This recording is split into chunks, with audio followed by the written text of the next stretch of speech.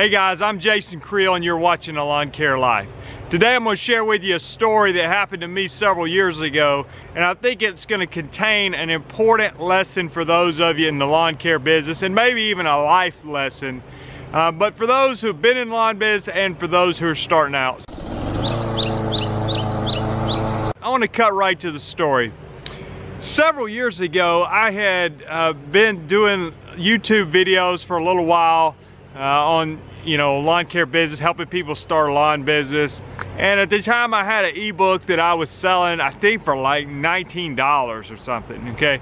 And I was teaching people you know how to get going in their lawn care business. And I had very few followers on the internet. I don't I don't know. I didn't you know do that many videos and that sort of thing. Um, but I had somebody who began to email me who, you know, I'm not gonna say his name, but it was sort of a big shot in the lawn care circles, okay, not on YouTube, so, um, but somebody who had a, a much bigger, significant online impact in lawn care circles. And he was basically letting me know in no uncertain terms that when it came to lawn care, I was not able to tote his lawn care jockstrap. Okay, that he was way more established, had accomplished way more, and that who was I basically to be on here proclaiming that I knew something about lawn care and trying to help people because I was nowhere near to his level of expertise. And I thought, well, this is bizarre, you know, and, and it was bizarre the first time, and I don't know what I replied. I actually tried to go back and find the emails. I couldn't find them. Um, like I said, it's been several years ago, and I guess somehow they're deleted off. Uh, but anyway, I was unable to find them. And, but he kept emailing me, I think three or four emails, and I finally just ignored him. I quit replying because it was like, listen, this guy's not gonna quit. I, I looking back, I'm thinking, this is really bizarre. You know, it's if LeBron James, or in this case, the self-proclaimed LeBron James of lawn care, if there's a heckler in the crowd and he yells at him, we're like, come on, LeBron, you ain't got to yell at the heckler in the crowd. Everybody knows you're great, okay? Well, this was, a, he, I wasn't heckling him. It's like, this is like the guy sitting on the upper deck with his arms folded and LeBron calls him out and says, who are you to tell me, you know, anything about lawn care or basketball? You know, it was that situation. Or better, if, if LeBron goes to some kind of high school basketball camp where they're teaching little kids how to dribble, and he says, who are you to teach people how to dribble? I'm LeBron James. I need to be teaching people how to dribble. You know, it was bizarre. And when I replied, I'm like, what? If, if you're half as accomplished as you think you are, or say you are, what do you care about me selling a $19 ebook on the internet? You know, so anyway, the point being, let's get to the point of how this translates into the lawn care business.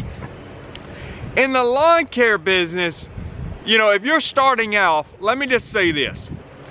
There's gonna be some people that are real excited about you, you know, helping you out, your friends, family, people that are just saying, you know, that's great, I'm glad you're doing this. There's gonna be other people who are basically don't care. You know, they could care less if you start a line business or don't start a line business. A lot of your competitors are gonna be that way. They've got their business to run, they got plenty of business. They could care less if somebody else went and bought a lawnmower and a trailer and started cutting grass. They absolutely could care less. And that's fine. And then there's others who are going to actually be offended by the fact that you are trying to take a portion of their business, okay? That you had the nerve to start a lawn care business in the same town that they've been working for the past 20 years, okay? And it doesn't matter if they've got, you know, hundreds of customers and there's this huge chocolate pie, okay? Let me translate, let me speak in some terms you might understand. If there's a huge chocolate pie, and this one business has been dominating the pie for years. And they've got 75% of the pie. If you come in and you try to get one slither of a piece of pie, I'm talking about 1% of the pie, the guy with 75% sometimes is offended at you. Now that's not always the case, you know what I'm saying? But I'm saying in the situation with me and this other guy, he was offended that you know, somebody else would enter into his space, I guess. I, I, I don't know what his problem was, okay? He, he, people like that are never happy. I don't understand it.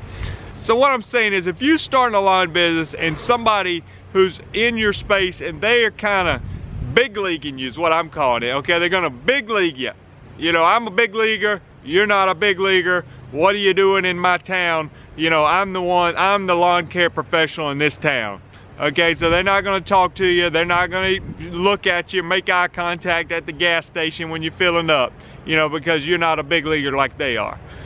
Well, listen, let me just make two, two applications to this. One, this is the minority of people, in my opinion, that are gonna do you this way. So if you're starting off, don't be intimidated by those people. What what is ridiculous is, you know, if they've got 75% of the pie, what most of the time, the pie is actually growing. So if you come in and get you know, 50 customers, it doesn't mean they can't get 50 more also because the pie's getting bigger. We're in a growing industry. There's more and more houses being built, more and more people, more and more demand for our services. So just don't be intimidated go about your business. And if you've been established in the lawn business, man, don't, don't big league the guys. And let me make sure I'm using that term right. Hold on. Okay, Google.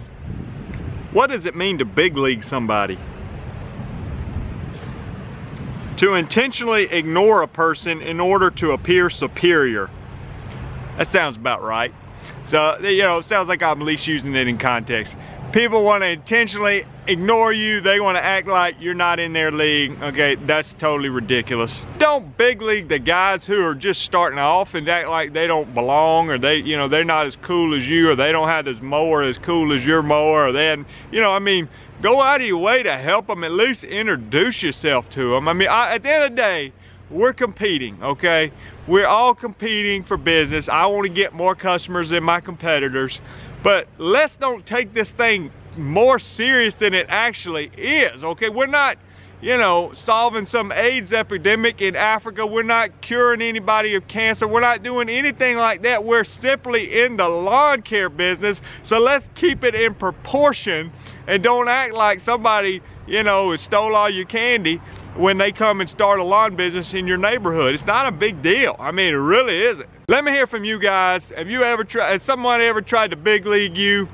And if you're in the business, uh, you know, what, what's your opinion on this video? Am I off track here or am I uh, shooting people straight? So let me hear from you in the comments. Check out these suggested videos. And if you hadn't done so, go ahead and subscribe to the channel. There's hundreds of videos on here. Uh, some more helpful than others. Thanks a lot.